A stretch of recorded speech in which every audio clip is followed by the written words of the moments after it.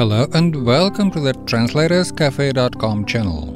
In this video, I will show you how to convert an old hard drive into a speaker. Why can we do this? Because speakers and hard drives have much in common. Let's have a look.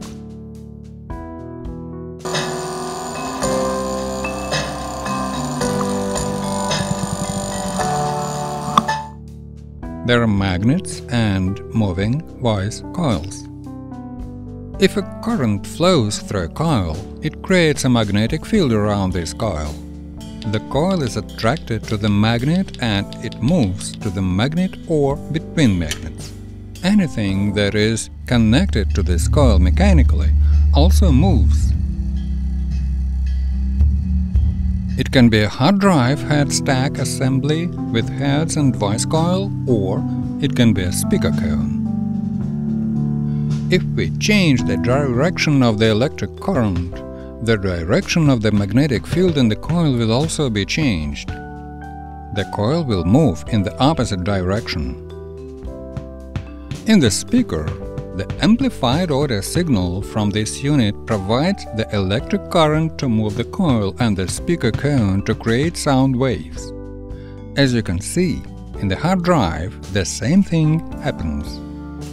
The amplified audio signal provides the electric current to move the coil, which in turn moves the hard drive heads. The heads are connected to the plastic film to create sound waves with more low frequencies. The head support arms create high-frequency sounds.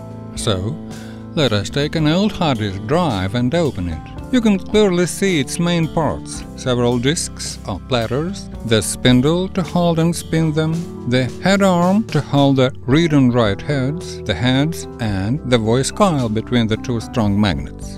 The flex cable is connected to the heads. There are two wires in this cable that connect the voice coil to its driver.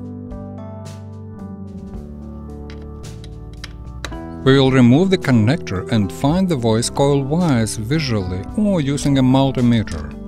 Voice coil resistance is about 5 to 40 ohms. We can connect or solder two wires to the coil terminals and connect them to the amplifier. It is better to check resistance one more time to be sure the wires were connected to the correct contacts. Now we will turn on the amplifier and here is the sound from this hard drive. Let us try to do some improvements to better reproduce low frequencies. We will try to make a simple speaker cone and mechanically connect it to the head arm. this sound is definitely better.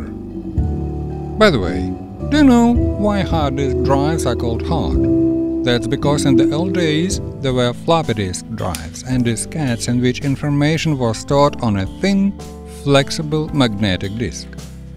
Then hard drives appeared in which information was written on rigid, rapidly rotating disks, platters coated with magnetic material.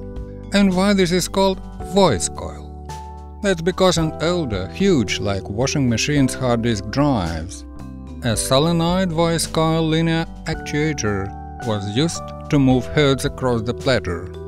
Its coil was cylindrical, exactly like you can see in a loudspeaker, only bigger.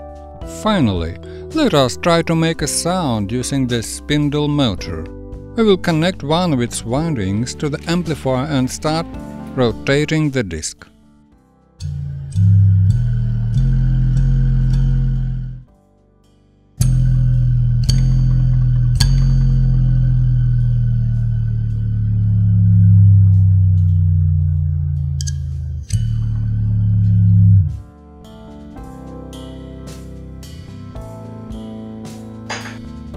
Thank you for watching and if you like this video, please check out other TranslatorsCafe.com videos about the unit converter and don't forget to subscribe to our channel.